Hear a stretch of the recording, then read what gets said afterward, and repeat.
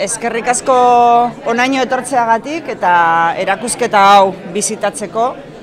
Lehenengo eta behin eskertu nahi nuke Eusko Jaurlaritzari eta Ramon Rubial Fundazioari honako hau e, erakusketa antolatzeagatik, nik uste dut oso mesedegarria eta interesgarria izango dela guztiontzat jakitea nor zen e, Julian Zugazagoitia eta zer egin zuen. Nik uste dut oso pertsonai interesgarria dela, Hogei garren mendeko lehenengo urteetan egin zuen bere aktibidade politiko eta profesional guztia, gazetaria, baita e, pentsaduna.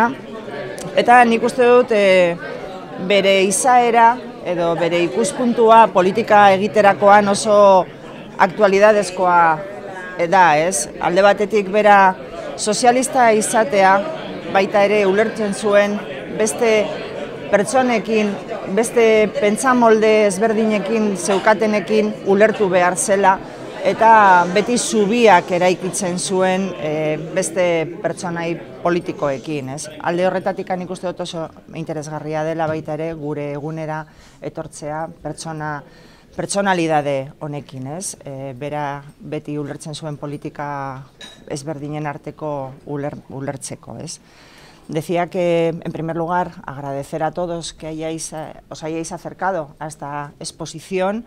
Quiero agradecer, en primer lugar, a la Dirección de Derechos Humanos del Gobierno Vasco, que Contamos con la presencia de su directora aquí entre nosotros y también a la Fundación Ramón Rubial por organizar una exposición sobre la figura de Julián Zugazagoitia, quizá un socialista menos conocido que otros de su época, como Indalecio Prieto, pero también una persona relevante y sobre todo representativa del Bilbao liberal, de los principios del siglo XX y también una persona a la que le tocó vivir unos momentos muy conflictivos, muy duros y en unas circunstancias mucho más trágicas que las que tenemos nosotros ahora, pero una, una personalidad que tenía una actividad política, profesional y también periodística y que concebía la, la, política como el entendimiento entre diferentes, sin olvidar sus principios socialistas, pero siempre tendiendo puentes para encontrarse con los otros. ¿no?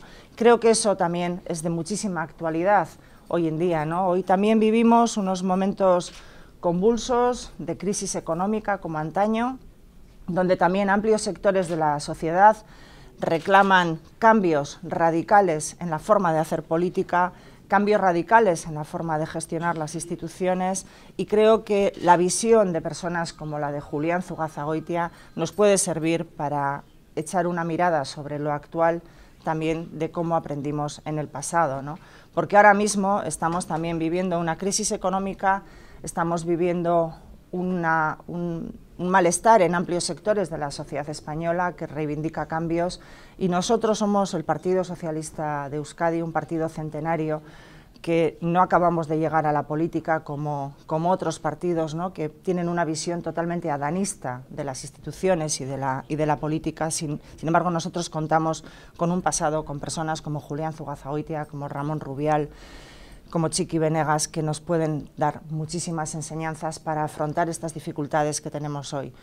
Tenemos un emplazamiento, el próximo 20 de diciembre, es una fecha marcada en rojo en el calendario y es una fecha en la que, si se produce el cambio, va a ser posible cambiar el gobierno de España para empezar a cambiar España, ¿no? que es de lo que se trata. Cambiar la España que tenemos ahora, una España con unas instituciones y un gobierno paralizado, que no gestiona absolutamente nada y que además nos ha dejado todo un reguero de heridas profundas por la, por la crisis económica. Tenemos las mayores desigualdades sociales que nunca se han conocido en España. Tenemos los mayores recortes en los servicios públicos, en la sanidad, en la educación.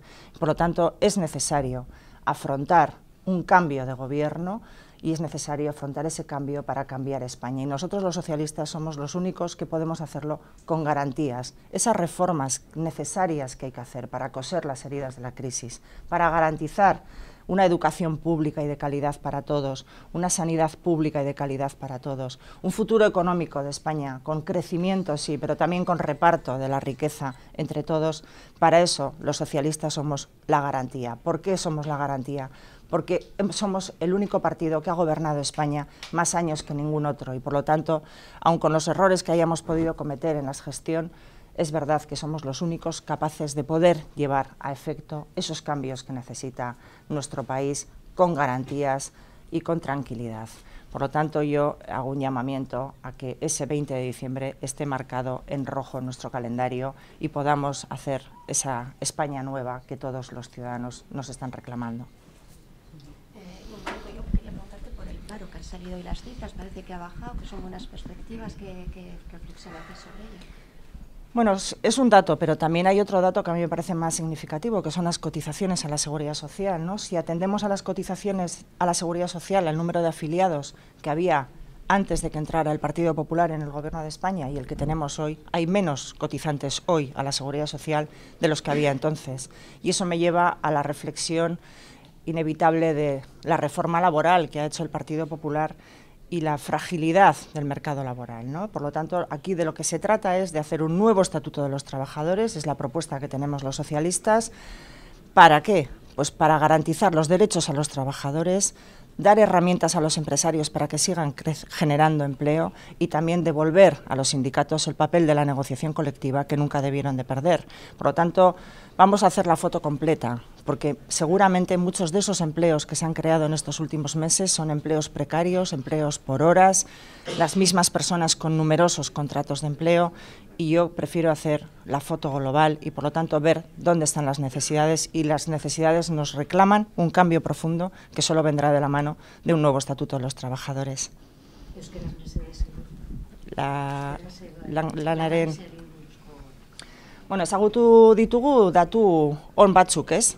Baina nik nahiko nuke argazki osoa ikustea, ez? Eta argazki osoa ikusten badugu, ikusten dugu, ez bakarrik kontratu gehiago egon direla, baizik eta baita ere aldi berean kotizazio gutxiago daudela seguridade sozialean, ez? Eta hori zer esan nahi du, ba, daudela jende gutxiago lan egiten orain la urte e, geroago, ez? La urte lehenago baino. Orduan, zer egin behar dugu? gauzak aldatu. Eta e, lehen gauza egin behar duguna da, erreforma laborala bertan bera utzi eta estatuto bat berri bat egitea. Lanaren, lan, lan, langilearen estatuto berri bat egitea, Zertarako alde batetik negoziazio kolektiboa blindatzeko eta bermatzeko, bestetik, beste alde batetik langileen eskubideak baita ere finkatzeko eta bermatzeko, eta baita ere enpresarioei tresnak emateko, ba, kudeatzeko ondo euren enpresak eta lan gehiago sortzeko eta mantentzeko, ez? Hori da gure proposamena eta uste dugu beharrez beharrezkoa izango litzatekela hasieran, bueno, datorren e, gobernuaren lehen lana izatea. Epatu duzu bai, urtetik gorako alderdi bat zerela. Bai, guk e, daukagu trajektoria historiko bat, ez? Gu gara lehen alderdia hemen Euskadin, eta hori nabaritzen da, eh? daukagu pertsonai historiko oso garrantzitsuak, ez? hemen daukagu erakusketa bat, Julian Zogaza goitiari buruz, baina baita ere Ramon Rubial fundazio antolatzen du erakusketa hau, eta baita ere daukagu bat txiki benega, zindalezio prieto orduan gu gara, alderdi historiko bat, baina aldi berean modernoa, eta nahi dugu transformatu Espainia, eta hortarako behar duguna da, aldatzea lehenengo eta behin Espainiako gobernua, ez? Aldaketa guzti horiek emateko eta modernizatzeko Espainia eta dauden eskaerari erantzunak emateko.